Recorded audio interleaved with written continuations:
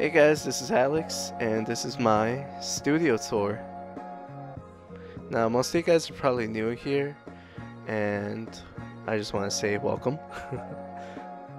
As an introduction to basically who I am, I make art sonically and visually. So in this video, I'll show you guys my setup and pretty much what I use on my daily basis. Uh, before I begin, I want to emphasize I didn't buy everything all at once. This is a collection of years, and uh, believe me, it's it's been a long time coming. Well, to start things off is my computer. It's probably the first thing you notice as soon as you walk into my studio. It's an iMac 27-inch Intel Core i7 quad-core processor with 32 gigs of RAM and 1 terabyte of storage. I don't know too much about computers, but apparently this thing's a beast, and therefore she deserves love. Okay, so moving on below the iMac is just a bunch of things, and it's typically a mess. you got things from utensils to my pencil sharpener to my bottle of water to my all my figurine to my controllers on my lamp and my jar of greed as I call it. this is pretty much where you have my drawing gloves. I have a pair so if one gets dirty I could use the other one. My microfiber cloth because I have glasses, micro SD adapter, and I have a bunch of guitar picks all the way at the bottom which you will see in a second. There it is. I usually have my Audio Technicas lying around. They're pretty reliable for the most part. They're Bluetooth and they're pretty niche. Speaking of audio, I could not make this commentary without my Focusrite Scarlett Solo audio interface. Now, I did not know that I needed such a contraption to make music. And as soon as I found that out, I had to go out and buy one. okay, well, moving on is my Cintiq 13 inch Wacom. I hope I pronounced that right. Now, I've been having the Wacom for about five years, give or take, and I love it. I run all my drawings through it. I mainly use Photoshop on it, which you're gonna see right here. Everything about this machine just handles so well, and I could tell it's gonna last a while. I would upgrade, but I would upgrade to a bigger size, but uh, it's not my budget, and I'm already kind of used to this size since I've always drawn on a like computer sized paper. It's very comfortable too, stylus wise. Normally when I don't use it, I store it right below my sketchbook, just so I could have space for my sketchbook to draw. And right there is my main sketchbook as of right now.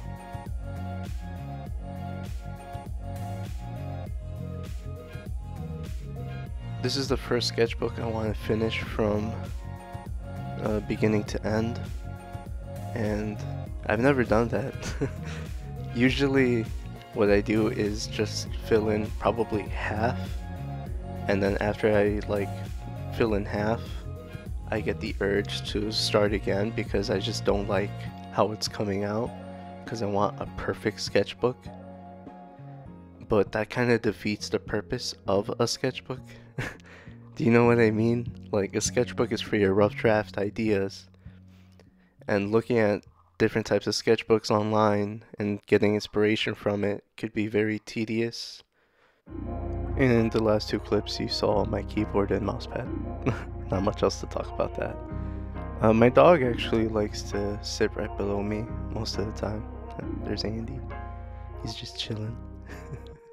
okay, moving on to the right of my desk are my speakers, bass, piano, ukulele, uh, I use Edifier speakers. They're Bluetooth. They're pretty good. Uh, there's not much complaint, like, they get the job done, you know what I mean? As for my bass, it's a Peavey bass. I bought it on eBay, and I really like it. The bass handles pretty well. I've customized it with a bunch of stickers, just to feel like it's more mine, I guess. I don't know what to say about that, really. Uh, on my wall is a poster, calendar, and an eraser board. Just trying to be more organized with my day-to-day life. Yeah. And right below that is my Yamaha piano synth. Uh, I actually have a couple synths in my room, keyboards, whatever you want to call them. I have a MIDI, uh, Akai, I believe that's what they're called. I have it right here. Uh, yes. a Casio SK1 which I got off of eBay. I only really wanted it because I saw that Local Natives used it once. It's really cool because you could actually sample stuff. It, it's it's very gritty though, like the grain. Uh, here you can see my microphone. It's a Shure microphone. It's like thirty dollars. It's very cheap. Maybe I'll buy a better one. Maybe not. But moving on. to the right of my room.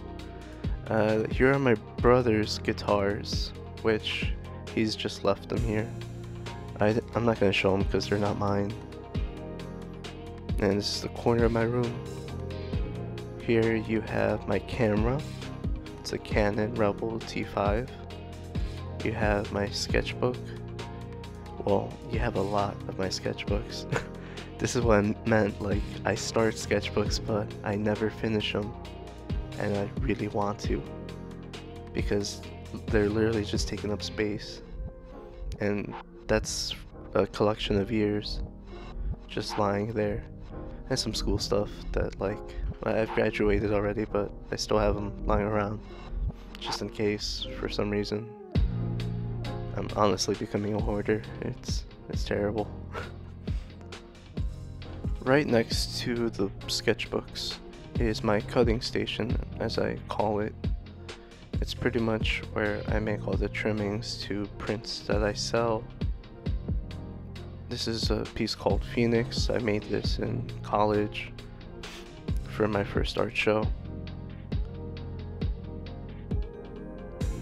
That paper trimmer you're seeing is actually kind of it's not it's not cheap it's It gets the job done, but I just bought the wrong size because I'm an idiot. I have bought a new print, uh, paper trimmer though.